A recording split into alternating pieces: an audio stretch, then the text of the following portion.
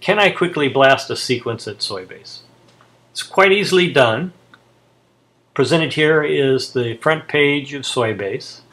And in the middle of the Soybase toolbox is a quick interface to BLAST that we present, allowing you to either paste a sequence in in FASTA format that you're interested in, or you can also upload a, bunch of uh, FASTAs by a file selection button here.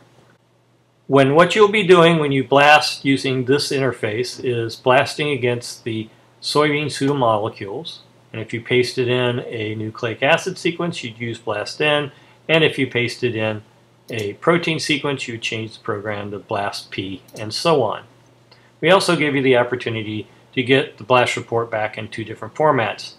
The custom and usual NCBI BLAST report, and we also allow you to see the hits that your sequence had to the pseudomolecules presented on, as a, a picture of all 20 chromosomes representing and each each of the glyphs on the 20 chromosomes represents a hit that your sequence had and this type of view allows you to see whether uh, all of your hits were clustered or whether they were spread out across all 20 chromosomes.